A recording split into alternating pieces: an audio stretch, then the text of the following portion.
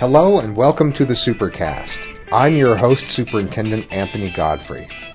They donate more blood to ARUP than any other group or organization in the entire state of Utah. We're talking about Jordan School District high school students. Today we visit a blood drive at Copper Hills High organized by HOSA students. HOSA is Health Occupation Students of America and it is a club that promotes career opportunities in the healthcare industry. Every year, Copper Hills High students manage to donate a record amount of blood. ARUP is the sole provider of blood to the Huntsman Cancer Institute, Shriners Hospital for Children, and U of U hospitals and clinics. They say their life saving work simply wouldn't happen without help from students. Tell me your name. My name is Ethan Wood. And what is it that makes you want to give blood today? Um, well, it's an easy and quick way to do service, especially in uh, with COVID-19. Uh, it's really hard to serve in the community, and me personally having O negative blood, I know that that's really needed right now, and so it's a really good way to give back to my community. Giving O negative is a big positive. Mm-hmm. You're a rare breed. That's awesome. Yeah. Do you do it for the free Gatorade partially? Uh, the treats are a really nice bonus. Yeah. Have you given blood before? I have. I have given blood, I think, three times before here. All part of the Copper Hills blood drive. Yeah. Okay, so the needle is in. You're relaxed. How are you feeling? Feeling great. Not much really else to say. It's just you feel it's like a feeling of calmness, kind of, I guess, because like there's all the anxiety of getting the needle in, but once it's actually in, I generally feel just really calm and relaxed. there are a lot of things about that in life. The anticipation is the worst. When you're sitting there giving blood, do you think about the fact that you're saving a life? You're providing health to someone who can't get it any other way. Definitely something that I think about. I get calls from ARUP when they confirm that like my blood has been used, and that's something that I know. I've done research about it, and I know that O negative is one of the blood types that they use when they don't know an infant's blood type and the infant needs to be saved. So that's something that's generally what I think about when donating blood. That's awesome. Yep. Do you, do you get to use this as an excuse for turning something in late or well, uh, retaking a test, perhaps? I get to use it for service hours for uh, the National Honor Society Club, and I also get to miss class time, so that's great. Well, I know the reason you're doing it is to help people. It's nice to get a little icing on that cake, though. Yeah. What year in school are you? I'm a senior. And what do you want to do? Um, I want to go into film production, actually. That's exciting. Mhm. What are your favorite movies? um, I really love mystery movies, so like Clue, the classic. Ah, very Yeah. good. Nice. Well, good luck with your career aspirations. Oh, thank you. and you. thanks for being an inspiration donating blood today. Oh, thank you. Are you in charge of snacks? Well, I'm one of the HOSA council members, and yeah, I'm just making sure everybody's six feet apart. And what's your name? Fatima Sadie.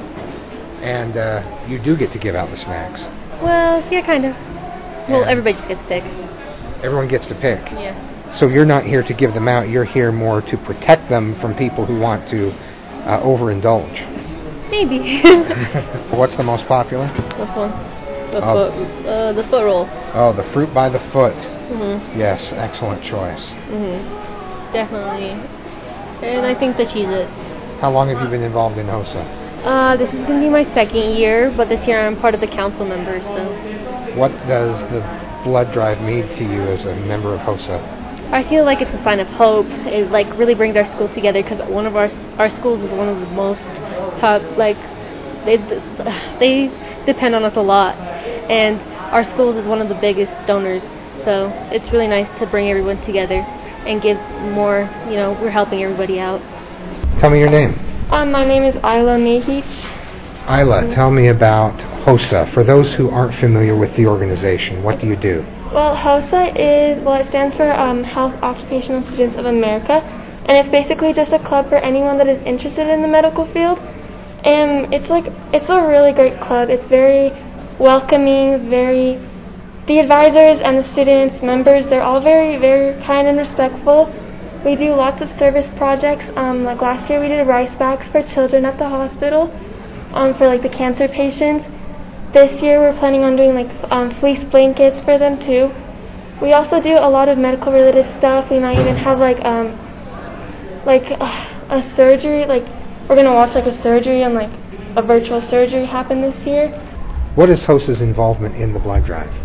HOSA's involvement. Um, well, we have our HOSA members and our advisors. We try to get as many people as we can to sign up for the blood drive. So we promote it for about two weeks before the blood drive happens. Today we are just helping out by standing here, making sure everyone gets checked in, and then we have someone inside making sure everyone is social distancing. Yeah. What percentage of those who sign up show up? Last year, I know we had about 150 people sign up, and we usually have like about 100, 120 people show up. That's a really good, that's a really good showing. Yeah. That's really good. Thanks for the work you're doing. I think it's fantastic. Thank you. Yes. Okay. Thanks. Thanks for talking you. with us. Thank so much. Stay with us to hear more about students who are helping to save lives by donating blood.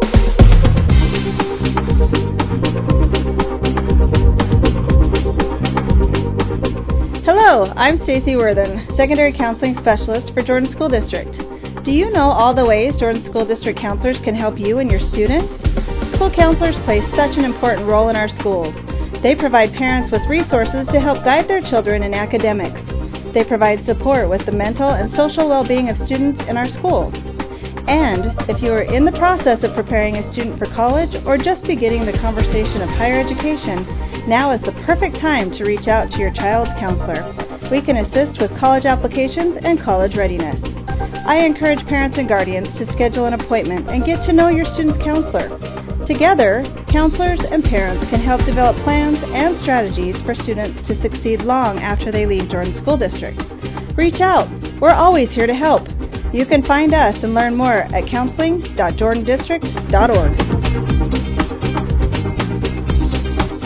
We're here with Rob from ARUP at the Copper Hills High School blood drive. This is not the first blood drive Copper Hills High School has done.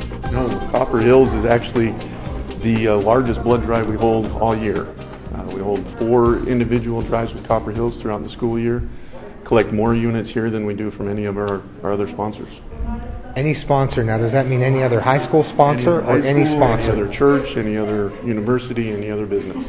Copper Hills and their four drives uh, collects more blood for us than any of the other sponsors. Why do you think that is? What is it about Copper Hills?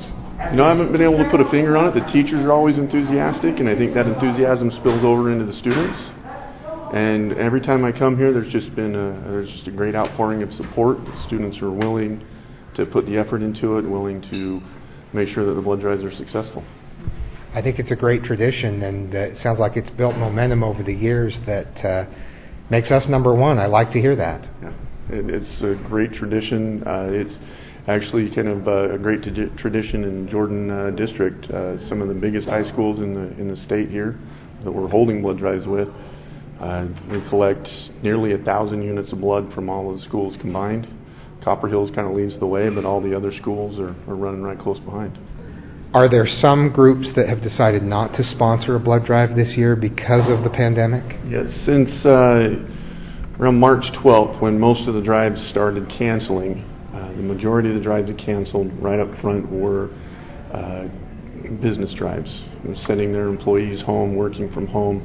Uh, and the drives that are still continuing to cancel on a regular basis are business drives. Uh, we're seeing uh, through the summer, with the since the pandemic came into full effect, uh, we've seen a lot of uh, church-sponsored blood drives, and that's been kind of our main support through the summer. But now that the schools are back in, we're seeing the schools wanting to put in, uh, get, keep the drives going, and put in the effort to help us be here. The students are so willing to support the blood drives uh, that we've just been really looking forward and, and hoping that the, the schools stay open and to, uh, we can be here to hold these drives. They're just so well supported and we're so grateful for the efforts of the students and their advisors. So without students, you'd be in trouble. We would. We'd, uh, we'd still be struggling along. Uh, we were averaging around uh, 20 blood drives a month since April. Uh, we should be upwards of 45 to 50. Uh, we were averaging about 17 units of blood every single blood drive, which is less than half of what we would normally average. So now that we're back into the schools, we're hoping to see that average go up. We definitely have more drives on the calendar. We're just hoping and praying that the uh, that the units are coming in. What are some of the precautions being taken to make sure that blood drives are safe uh, in the midst of a pandemic? As many as the CDC has put out that we can actually in, instigate or implement in one of our blood drives, we're doing it. Uh, our staff, when they show up to our facility to get ready to go to a blood drive, puts on a mask. Uh, then they wear that mask through the entire day. Uh, in transit to the drive, mask while they're at the blood drive, unless they're having their lunch or taking a drink, but they stay masked and then they stay masked in transit back to our facility as they check out and do their end of the day work, and then they don't take their mask off again until they leave. Uh, we are doing regular uh, checks for their temperatures to make sure that they're staying healthy, uh, asking them to self quarantine if they have any sort of uh, illness symptom. Uh, we do we're, we're testing uh, some of the staff on a, on a weekly basis to make sure that everybody's safe. when we come to a facility, uh, for a blood drive, we're measuring out uh, spacing between waiting areas and actual uh, working stations to make sure that we've got the physical distancing. Where does the blood go? Where does the blood go? Wow. Uh, we're the sole provider of, of, blood to Huntsman Cancer Hospital, uh, the University Hospital and its clinics, and the Shriners Hospital for Children, a couple other facilities around the Salt Lake Valley. And what's the need level right now? boy, I, let's put it this way the need's always increasing. Uh, we need blood every single day. Hard to say exactly how much we're going to need every day. Each day is a little bit different. Uh, earlier in the year, we had uh, earlier in September we had 25 patients come into the hospital. Uh, one of those patients used 179 products on their own. Uh, that is two of Copper Hills' blood drives to one patient. Uh, but then yesterday we had 36 patients come in and 46 products were used. So it just kind of depends on the day. But the best way to put it is there's a constant need on a daily basis, and that need doesn't diminish, it's just always there. How long does blood stay good for? How long can it be used after it's been donated? Uh, from a whole blood unit, we'll take generally two, two products that is, red blood cells and plasma. Red blood cells last for about 35 days. Plasma can be frozen because it's mostly water and will last for about a year. Uh, Usually within that 35 days shelf life, those red blood cells are used. So based on the need you described, it would be pretty rare for anything to expire or get even close. Very rare. This time of year and with the conditions we're in, very, very rare. What are the qualifications to donate blood? Who's eligible and who isn't? Um, basically, we're looking for donors that are healthy and well. Uh, no symptoms of any illness, not just COVID 19, but just any illness. Uh, that's the first check for any of our blood donors. Are you feeling healthy and well today?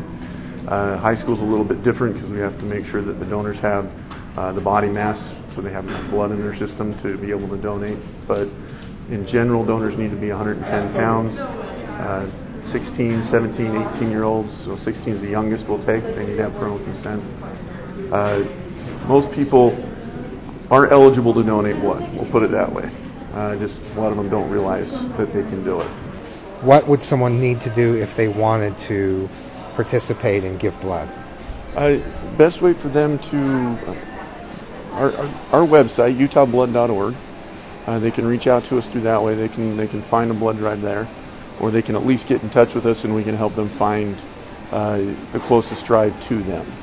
Uh, we've got drives all over the state every single month, so well, all over northern Utah, Utah County up into Cache County. They just need to get in touch with us, and we can help them find the drive that's closest to them. So, what would you say to students who have been participating and been supporting the blood drives, not just this year, but over the years? First of all, thank you so much. Uh, you've been a great contributor to the lives of so many. It would be awesome to be able to take you to the hospital and introduce you to these people to their families who you've helped support and, and save lives. But we don't we don't get to do that. All I can tell you is thank you, and there are so many out there, my brother included, that, that wouldn't be alive today without your efforts. How do the HOSA students, the Health Occupation Students of America, get involved in helping set these up? What's their role? Uh, their role is, is from beginning to end. Uh, I, I contact the advisor. The advisor helps me get blood drives on the schedule and then I meet with the advisor and the students uh, three to four weeks outside of a blood drive to talk to them about uh, how the drive needs to be set up, uh, what needs to be in place for each one of the donors. Uh, make sure that they understand the process that, that needs to be gone through so that all the donors that are coming to the drive are as, as prepared as possible. They're here at the drives, um, helping check in students, making sure that they're coming with everything that they need to be prepared to donate. Uh, they're here in, in, the canteen watching the donors after they've donated to make sure that they're feeling well. But the most important uh, job that they play is making sure that the donors are getting signed up. They're recruiting for us. They're our mouthpiece when we can't be. They're the ones that are talking the blood drives up, encouraging the people to donate, to sign up to donate, and encouraging the people to be here. So without them, uh, we just wouldn't be able to hold these drives. It's the best kind of peer pressure. Absolutely, it is. Thank you, Rob. Hey, Great thank job. you so much. Awesome. Appreciate you. Thanks for joining us for another episode of the Supercast. Remember, education is the most important thing you will do today. We'll see you out there.